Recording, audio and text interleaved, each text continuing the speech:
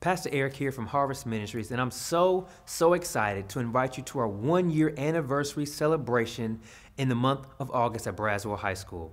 Now, throughout the entire month of August, we're going to be celebrating what God has done in and through our church through testimonies. We're going to participate in communion. We're going to have baptisms. We're even going to have our first set of baby dedications as we dedicate some children to God. And I can't believe all the things that God has just placed on my heart to share with the church and things that are coming soon, not just for the rest of this year, but also for next year and for the years to come.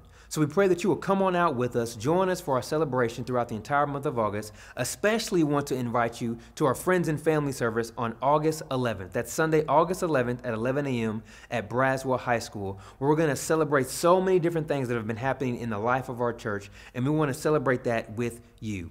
And we're going to have an after party after that service because, hey, who doesn't like a great after party? And at Harvest, y'all know we love to fellowship, kick back, and have fun after service. And so, would you please join us, not just in the entire month of August, but specifically even on August 11th, that Sunday at 11 a.m. at Braswell High School, 26750 East University Drive in Aubrey, Texas, as we celebrate our one year anniversary celebration. Thanks be to God for all that He's done in and through the life of our church.